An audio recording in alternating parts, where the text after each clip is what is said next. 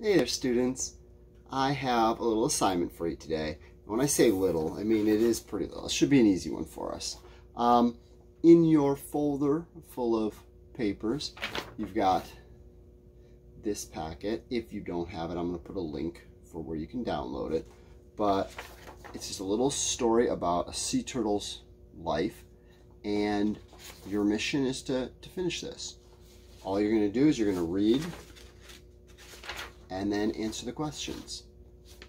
Should be pretty straightforward. Only thing I ask is that you give complete answers, just like we've been practicing, and you give complete answers. So take a look at this and see what you can learn about a sea turtle.